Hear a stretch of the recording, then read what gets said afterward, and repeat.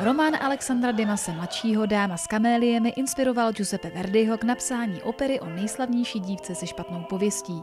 Opera La Traviata také patří k jeho nejslavnějším a zároveň i nejhranějším. La Traviata, která dojímá a uchvacuje spolu s Verdiou hudbou posluchače přes 160 let, uvede Severočeské divadlo v sobotu 26. února od 17 hodin.